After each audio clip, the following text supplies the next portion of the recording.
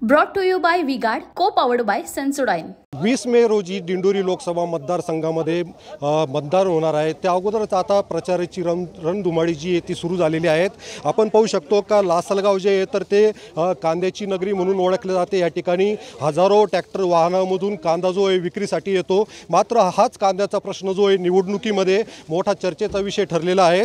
आणि या ठिकाणी जर बघितलं तर केंद्रीय आरोग्यमंत्री डॉक्टर भारती पवार यांना यांच्यावर शेतकऱ्यांची मोठी नाराजगी आहेत. मात्र दुसरीकडे जर बघितलं तर तर महाविकास आघाडीचे जे उमेदवार आहेत भास्कर बगरे तर ते थेट लासलगाव बाजार समितीमध्ये येऊन शेतकऱ्यांशी संवाद साधलेला आहेत.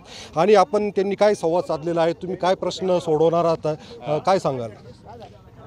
कांद्याच्या निर्यातबंदीचं धोरण शेतका सरकारने अवलंबून या कांदा उत्पादक शेतकऱ्यांच्या म्हणजे उत्पादन खर्चसुद्धा म्हणजे जो कांदा साडेचार भा हजार रुपये भावाने चालू होता आज तो कांदा पंधराशे रुपये निर्यातबंदीचा फटका या मोठ्या शेतकऱ्यांना बसलेला आहे. म्हणजे ज्याचं उत्पादन खर्चसुद्धा निघू शकत नाही अशा प्रकारची अवस्था. म्हणजे शेतकरी मोठ्या हिमतीने उन्हाळ्याचं उन्हाळ कांद्याचं पीक घेतो आणि आज चांगल्या पद्धतीचं मार्केट पाहिजे असताना निर्यातबंदी करून खऱ्या अर्थानं शेतकऱ्याला हवालदिल करण्याचं काम शेतकऱ्याला संपवण्याचं काम या सरकारने केलेलं आहे.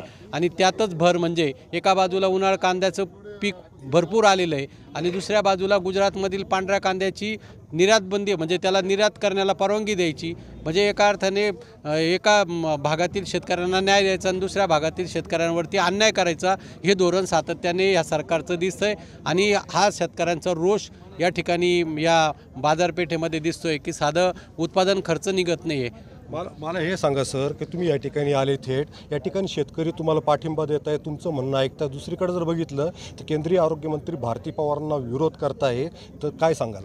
आता लोकप्रतिनिधी म्हणून त्यांनी त्यांच्या जबाबदाऱ्या पार पाडायला पाहिजे होत्या. सरकारमध्ये असो नसो शेवटी तुम्ही त्या भागातले प्रतिनिधी आहात. कांदा उत्पादक शेतकरी मोठ्या हिमतीने म्हणजे एका बाजूला महागाई वाढलेली आहे प्रचंड उत्पादनाचा खर्च वाढलेला असताना कांद्याचं हे पीक घेतो.